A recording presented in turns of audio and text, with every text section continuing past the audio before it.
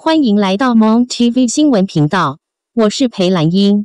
这是今天的主要新闻：IU 仙气登坎城红毯，惨遭暴辱网红无视，粗鲁撞肩画面曝光。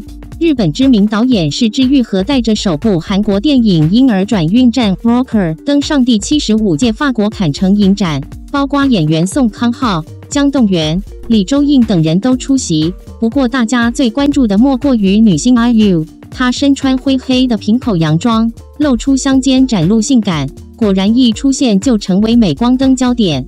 不过，却发生点小插曲：一名金发女子在红毯上直接撞飞 IU。也点燃网友怒火，要求金发女子道歉。事后才发现，原来她是法国美胸网红。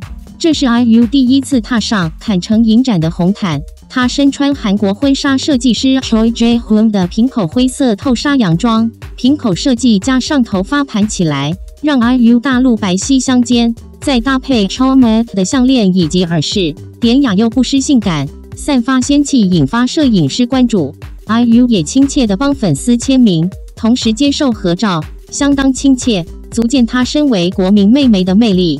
不过，IU 出席红毯却出现了小插曲，现场人潮拥挤，IU 与李周映站在一起，可没想到有一名金发女子竟直接穿过两人中央，甚至撞上 IU 的左肩。IU 第一时间似乎有些不知所措，对着李周映露出尴尬错愕的笑容。李周映也立刻转头看了一下，而这名金发女子则头也不回的走人，态度也引起网友质疑，是否歧视亚裔？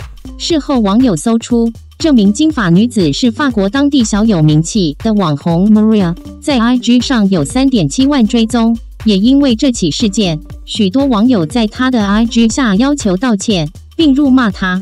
眼见一发不可收拾，Maria 透过现实动态道歉：“我的英文不好。”但我会尽我所能。我真的很抱歉在红毯上发生的事情。我要跟韩国演员李智恩道歉，因为我的失误在红毯撞了他。我不是故意这样对他，对所有人，我真心感到抱歉。